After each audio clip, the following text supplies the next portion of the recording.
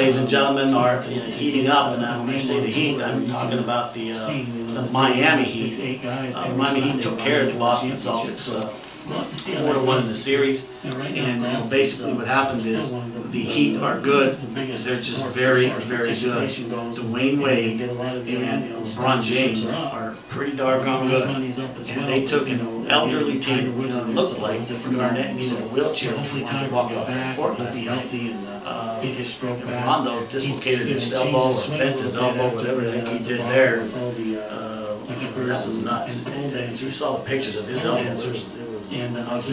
But he was able to play in some pain. And, uh, you know, and Allen getting old. I think, uh, Doc Rivers is getting old.